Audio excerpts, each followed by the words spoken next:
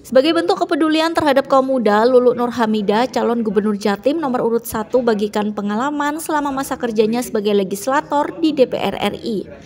Menurutnya pemerintah harus mampu menciptakan lebih banyak ruang kreatif bagi kaum muda saat ini.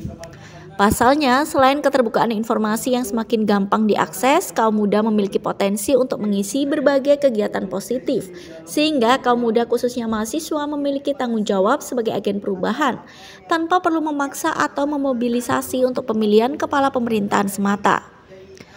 Pentingnya melibatkan tokoh-tokoh muda termasuk dari kampus dalam perencanaan pembangunan Jawa Timur juga ditekankan. Lulu bilang mereka harus memiliki ruang untuk menyuarakan kepentingan mereka di berbagai bidang seperti pekerjaan, pendidikan, dan kreativitas. Bahwa mereka punya semangat tentang perubahan, yang kedua tentu difahamin kebutuhannya sebagai orang muda dan bukan hanya sekedar uh, apa ya untuk mobilisasi, tapi memang benar-benar ditempatkan sebagai mainstreaming. Maka saya punya komitmen betul bahwa APBD di Jawa Timur itu harus menyentuh secara langsung kepentingan dari orang-orang muda, menciptakan ruang-ruang kreatif sebanyak mungkin dan seinklusi mungkin itu juga menjadi penting dan menempatkan mereka sebagai bagian yang penting bagi perencanaan sampai kemudian pelaksanaan program yang ada di Jawa Timur.